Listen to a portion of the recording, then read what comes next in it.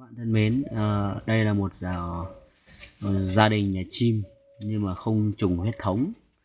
Bởi lẽ là ở đây là một cặp chim bố mẹ. Chim cu này là cu Pháp, cu Nhật. Tóm lại là mình ghép vào thành đôi. Cái giống chim này ưu điểm là rất là thuần và chúng có thể là ấp rất là chuẩn và nuôi con rất là khéo. Chân thì đỏ mà mỏ thì cũng màu như trên thì uh, các bạn có thể thấy là chúng thuần đến mức độ là giống như là là, là chim chim gỗ đấy các bạn nhìn thấy không? Đấy sờ vào người như không. Đấy.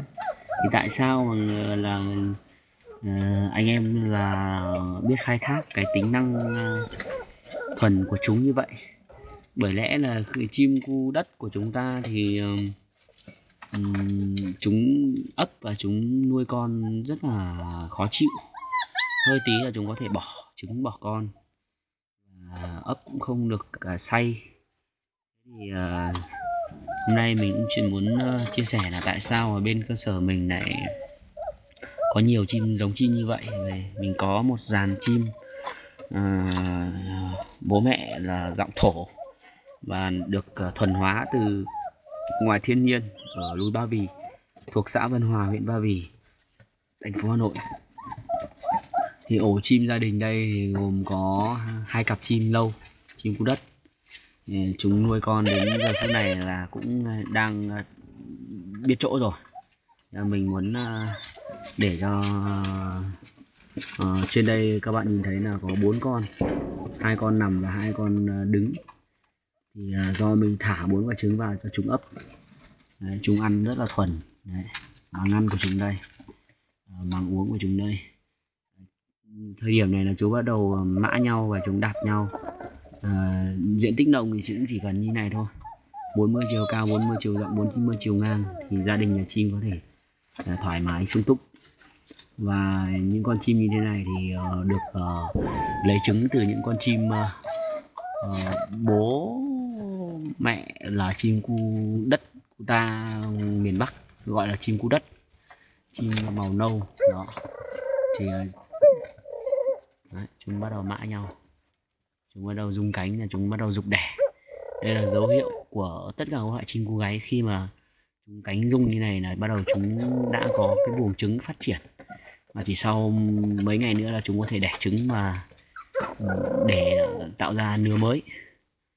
Khi chúng ra lứa mới thì các bạn nhặt bỏ trứng của chúng đi và chúng các bạn luồn trứng cu ta mình vào.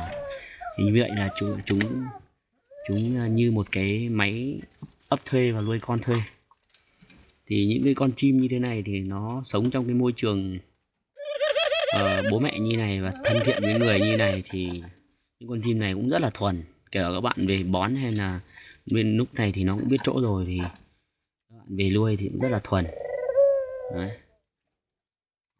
chúng đang à, uh, dục đẻ. Cái cái dấu hiệu dục đẻ là mỏ nó trúc cắm xuống uh, mặt sàn đồng và cánh đông đuôi trồng ngược cánh rung rung rung.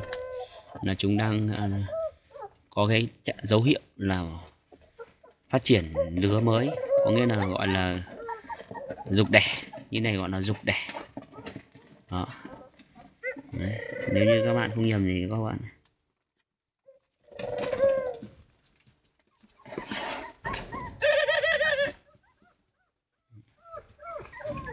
rất là đẹp chéo cánh nhau đôi này ấp nứa nào bốn quả lửa đều chắn chắn.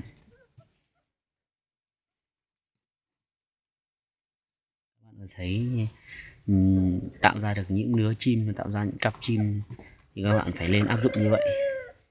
Các bạn nuôi thế kia thì cũng tốt thôi nhưng mà các bạn phải làm một cái uh, khuôn viên rất là rộng kín đáo và phải khéo léo có kinh nghiệm thì mới tạo ra được một đôi chim khu đất ừ, chính thống. Bây giờ mình sẽ uh, uh, kết hợp mỗi một cái giống một cái loài nó sẽ có một cái gen và một cái thuộc tính nhất định. Chúng ta có thể tạo ra được một cái thương hiệu chim của Việt Nam cũng như là ngoài Bắc Bộ ở bên này. Cơ sở mình thì ở xã Vân Hòa huyện Ba Vì thành phố Hà Nội. Rất mong được chia sẻ và giao lưu với tất cả các quý bạn khách hàng và những anh em à, khác yêu chim. Uh, mong rằng sẽ gây dựng được cái tiếng tăm chim cô gáy trên khắp miền Bắc cũng như đất nước cũng như quốc gia uh, vẻ vang hơn thì uh, video này mình muốn chia sẻ như vậy thì các bạn có thể uh, cần đến những cái con chim bẫy chim mồi chim giống chim non chim bố mẹ. Các bạn có thể liên hệ với cơ sở chúng mình. Số điện thoại liên hệ là 0163 5305982 tôi xin nhắc lại 0163 5305982 để được tư vấn cũng như là mua bán chuyển hàng qua các tỉnh mình đã từng chuyển vào tận trong miền Nam. Không đóng thùng và cho thức ăn nước uống vào chim vẫn khỏe mạnh bình thường. À, thì à, đây là những chú chim non.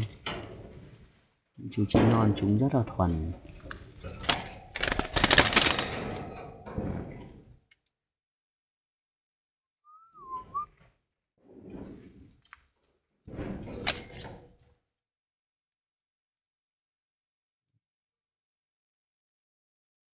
Rất là thuần.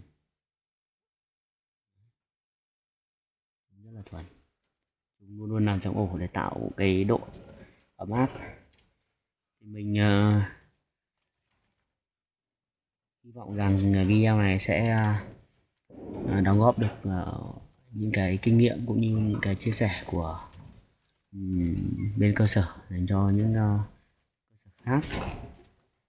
Các bạn uh,